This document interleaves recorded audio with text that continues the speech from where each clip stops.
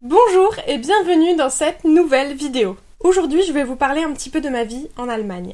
Ce qui m'a donné envie de faire cette vidéo, en fait c'est la vidéo d'une autre youtubeuse qui habite en Allemagne, euh, dont la chaîne s'appelle Hallo Mario. Et ce week-end elle a sorti une vidéo sur euh, ce qui lui manque de la France en tant qu'expatriée. Et j'ai regardé sa vidéo, euh, j'avais un ou deux points communs avec elle, mais finalement je me suis dit, il n'y a pas tant de choses que ça qui me manquent, je suis vraiment heureuse en Allemagne et euh, souvent, on voit des vidéos euh, en tant qu'expat, qu'est-ce qui te manque, euh, qu'est-ce que qu'est-ce qui est moins bien et tout ça. Et moi, j'avais envie de vous parler du côté positif, pourquoi j'adore vivre en Allemagne et qu'est-ce qui fait que j'aime l'Allemagne, que j'aime vivre ici. Du coup, j'y ai un petit peu réfléchi ces deux derniers jours et j'ai fait une petite liste de mes choses préférées ici. Bon, j'aimerais quand même déjà vous parler de la seule chose qui me manque vraiment quand j'ai réfléchi en France, c'est l'accès facile à la culture. Parce qu'ici, bien sûr, en Allemagne, on a quand même accès à la culture, mais c'est pas dans ma langue maternelle.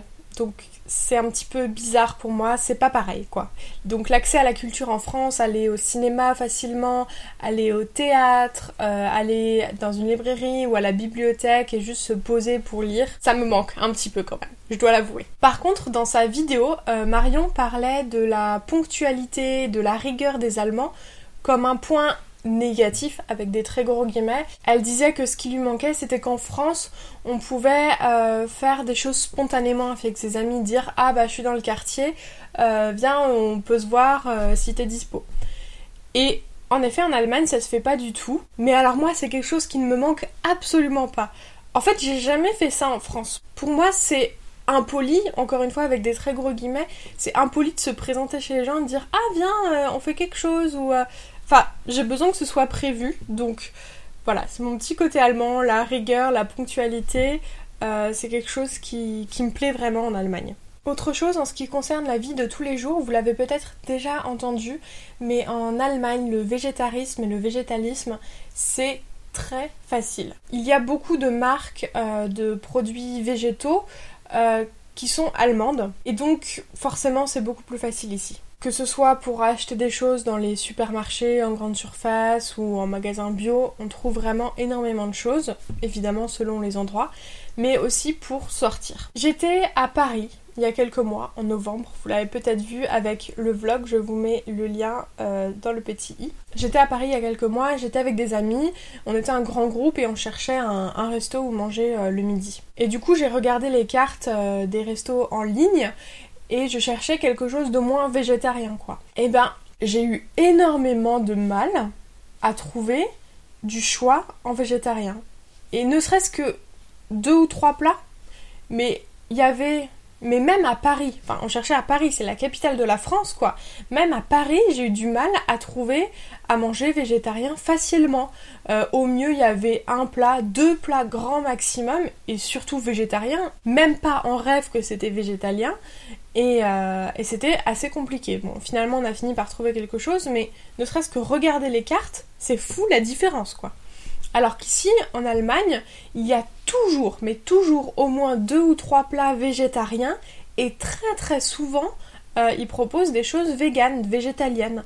C'est très facile de manger vegan ici. Et puis il y a des restaurants euh, véganes, euh, végétariens, véganes à tous les coins de rue, dans toutes les villes, quoi. Dans toutes les villes moyennes. Mais comme vous le savez peut-être, en Allemagne, il y a énormément de grandes villes, villes moyennes. Donc c'est très facile de manger végétalien ici. Ensuite, autre chose niveau administratif, financier. Euh, une chose que moi j'expérimente pas vraiment parce que j'ai un statut auto-entrepreneur ici, mais mon copain est salarié et donc ses impôts sont prélevés directement sur son salaire. Donc je sais que c'est quelque chose qui vient d'arriver en France, mais en Allemagne c'est établi depuis très très longtemps et franchement c'est très confortable de pouvoir se dire que l'argent que tu reçois euh, à la fin du mois, il est pour toi. Bon, certes, t'as encore quelques assurances à payer, des choses comme ça, ton loyer, mais il est pour toi. T'as pas de l'argent à mettre de côté pour pouvoir payer des impôts euh, plus tard, dans quelques mois. Vous le savez peut-être aussi sur ce point, mais en Allemagne, il y a énormément de vélos. C'est très très facile de circuler à vélo dans toutes les villes, et même dans les petites villes, dans les villages, il y a des pistes cyclables partout. Et euh, le vélo est, est roi. On peut vraiment très facilement circuler à vélo Et c'est très pratique en fait. D'un côté, bon, c'est plus écologique que la voiture, c'est beaucoup moins cher parce qu'il n'y a pas d'essence à payer, il n'y a pas le garagiste à payer, donc évidemment si ton vélo a un problème, bon, tu dois peut-être euh, aller chez le réparateur acheter des pièces, mais ça revient beaucoup moins cher que la voiture. Et comme il y a des pistes cyclables partout, c'est très adapté et on peut très facilement se déplacer à vélo avec euh, en faisant ses courses ou juste pour se balader, rejoindre des amis, euh, aller d'un quartier à l'autre. C'est parfait. Et du coup, euh, comme il y a beaucoup de vélos en Allemagne, le merchandising autour du vélo est assez développé et on trouve des petits accessoires assez drôles qui sont assez particuliers à l'Allemagne qu'on trouverait pas en France. Bon, on a des sonnettes, des protège-selles de vélo pour protéger ta selle de la pluie, des choses comme ça, assez classiques. Mais on voit régulièrement des gens, euh, quand il pleut, avec une espèce de combinaison euh, en caoutchouc, en plastique, euh, qu'on met au-dessus de ses vêtements pour se protéger de la pluie. Et puis après, quand on arrive là où on veut arriver, on enlève sa combinaison et puis on est tout sec, c'est parfait.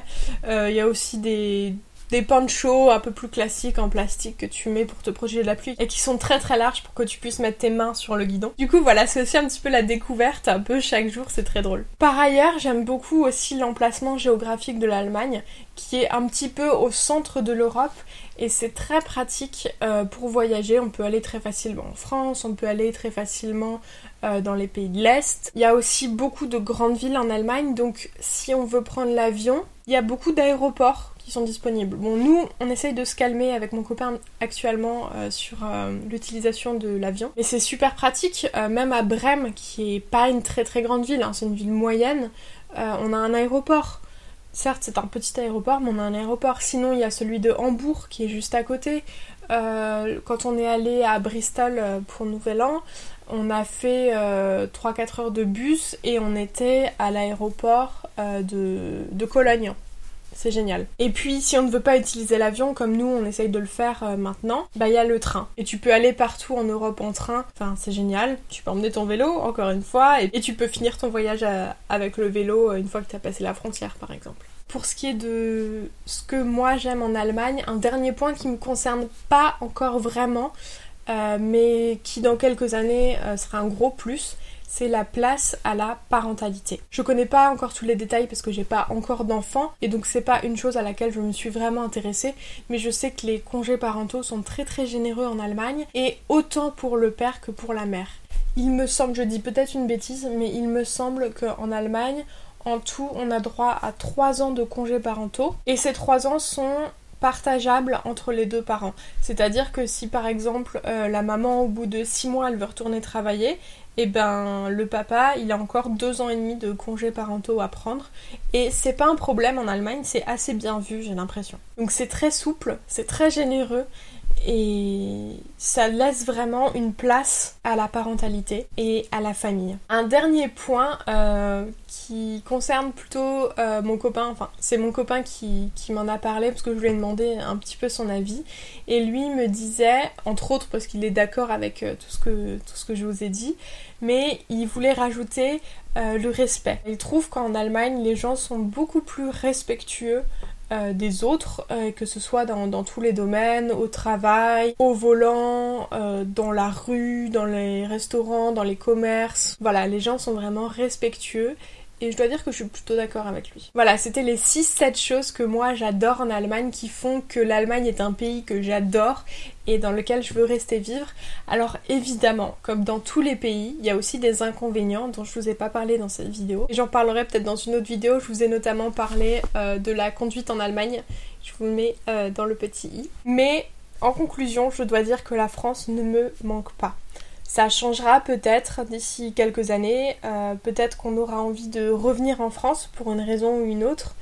Euh, mais pour le moment, on est bien en Allemagne, on reste en Allemagne. Voilà, j'espère que cette vidéo vous a plu, euh, que ça vous aura permis de découvrir un petit peu l'Allemagne si vous ne connaissez pas vraiment. Si vous voyez d'autres points positifs ou si vous n'êtes pas d'accord avec moi sur certaines choses que j'ai dites, n'hésitez pas à laisser un commentaire.